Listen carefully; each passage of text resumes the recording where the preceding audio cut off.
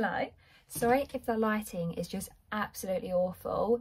It gets dark at 4pm, so there's not much I can do about it. I'm going to be talking on coming off of sertraline because it's it's not something eh, people talk about going on it right but no one talks about the withdrawal of coming off of it if you've never been on sertraline it's an antidepressant it's an ssri so selective serotonin reuptake inhibitor. Basically it like levels out the chemicals in your brain and people with depression take antidepressants and you can take it with other conditions but i've only taken it for depression. So basically i went on fluoxetine last year. It was november october november 2022 I was 16 when I first went on it and then I think I turned 17 whilst on it, I'm not sure. I was only on it for five weeks, four to five weeks because it made me have, what's it called? Fleeting thoughts as I call them. Obviously I wanted to end things. I wanted to end things before I went on it and I went on it and it made me go right downhill. Came off of it. I don't remember having any withdrawals from that. I mean, I just kind of carried on being as depressed as I was before I went on them. I went to a CAMHS appointment. I'm, I'm pretty sure it was April time. If I'm correct, I've been on sertraline from April until now, this month. Um, and this month is the month that I'm going to be cutting off. Going on sertraline, I can say that it's numbed me. It's definitely cleared me. It's like it's given me a brain reset. I do have another video on antidepressants, but this is going to be a more in-depth one and a more it's more in depth than coming off of them as well. Became numb, became very, I still am, I still am fairly numb at times and it's made me very like straightforward, to the point, blunt, all of that. But I am quite a blunt person. Um, I just like to be honest. Sometimes I might be too honest, but I like to be honest. So with fluoxetine, I was only on 10, then I think I went up to 20 and back to 10 because it was definitely very like strong and it was making me feel very sick. With sertraline, I haven't really had any like physical symptoms. I mean, nothing that's been like really caught my attention. Fluoxetine and sertraline are like the generic ones that people get put on at a younger age. But I started off 25 sertraline, then I went up to 50, then I went up to 100 and they did not want to up it again. I was not, I didn't know what to do, but they would not up it again because they thought if I go up it again, I won't be able to regulate. They feel like I'll have highs and lows, almost like bipolar episodes. They thought I would either go too high or too low at times. Whereas obviously I was just feeling really down and low all the time, but I was numbed. So they said they worried that if I went up again, on the sertraline that my mood would go like from being slightly down to like obviously having really highs and really lows. Somehow we decided to start coming off of it. And so I've gone from 100 down to 25. I've spent the last month or two weaning myself off. I was very numb and just kind of like acted as if I didn't care. Obviously I had empathy after I started coming off of it I had all my emotions like flood back and it's definitely hit me.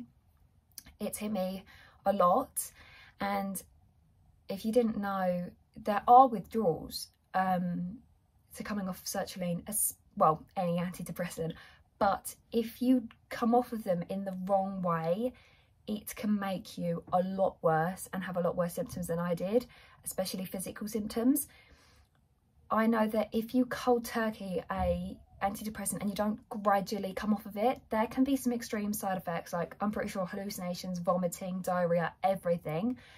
The withdrawal I've had is obviously my just flood and it's like come and goes. I'm very confused, I'm very out of it, I'm very, I'm like crying randomly like I just felt very very very frustrated like an hour ago and was crying. But like it's so hard to get any like tears out.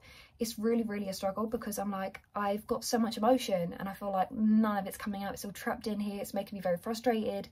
And i am experiencing a brand brand new emotion anger. Now i have never really felt in my life. I've never gone felt like as if I'm angry. I've had frustration, I've had irritation, obviously, like everyone does, but I've never been like, I'm fucking angry. Obviously, you say you're angry in the moment, but I feel like I've never actually felt it.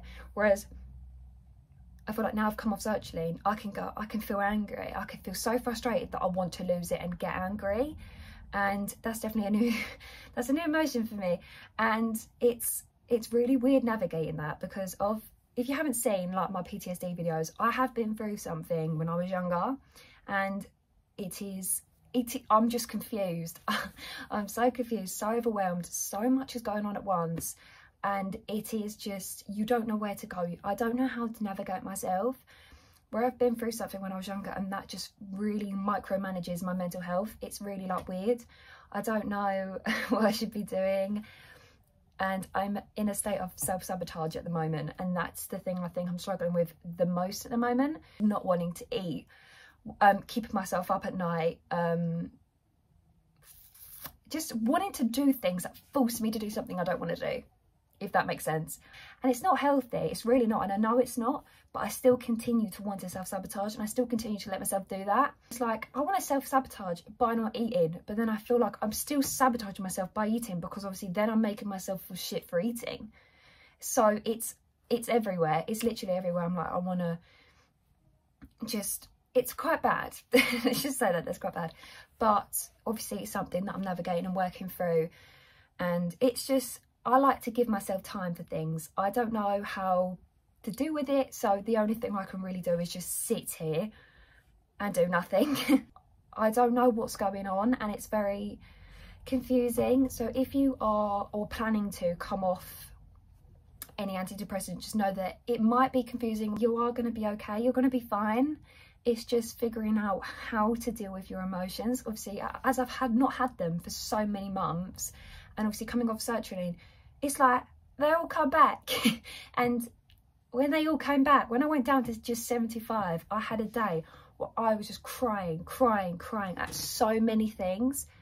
And obviously you feel weak you feel vulnerable but obviously that's a sign of strength. It's not really a sign of weakness. So you just need to kind of believe that you are getting through it and you are strong because it's really hard. And I'm glad that I've got my little comfort teacher at school. I've got people that I can talk to if I need to at school. And obviously I've got the comfort of my own home. And I've got these two cats that are right near me. But don't be scared to go on them. Like you can try them and you can come back off them. If you've got to the point where you think that therapy is not helping, please go and seek out something else because you can try so many different therapies. And I've tried so many people and it's like it is a struggle. And if you want to resort to medication because you feel like I just need a break from my my own emotions please please please go to the GP and just see what you can do. Even if you're like 14 15 get in touch with CAMHS I know they're not the best I know they are problematic sometimes and I know they're not always the most useful but please do something because it's better to be on a waiting list than to be nowhere and be like well, I've got nothing planned, no one's helping me. When you're so young and you're dealing with so many things that you should not be dealing with at an age like this, it is very, very difficult. And I've been through things. I don't know if I'll ever blurt out the whole story, but I've been through something no child should go through. And I mean, that's why I've got this tattoo. It's the 444 tattoo, if you've seen it. It means protection and there is nothing I want more in this world than to be a mum, protect children and just be in a job that protects people. I, yeah, I, if you've ever been through an experience where you weren't protected when you should have been, or you've just been in a situation where no child should have been through it, believe me, you are not alone and it is very, very difficult to navigate through something when you don't fully understand it or you didn't fully understand it when you went through it and there is no answers sometimes and I'm really struggling with that as well. Like I always want an answer and I go to like my comfort teacher therapist.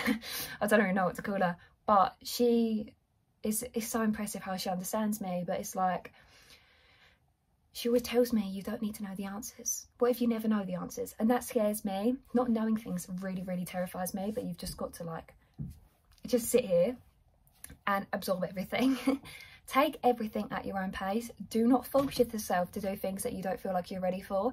If you don't feel like you're ready for something very, very, very minor, you don't need to pressure yourself to do it. Yes, there'll be days where you might be like, okay, I can push myself.